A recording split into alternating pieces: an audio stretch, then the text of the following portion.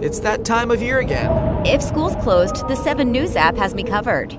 There's more than school closings, you know. Like what? Breaking news, weather forecast. Do they have traffic alerts? They sure do, with cameras everywhere. Sounds like there's an alert for everyone. You can get your school closings on air with 7 News this morning, on the web at yourohiovalley.com, and on the go with the 7 News mobile app.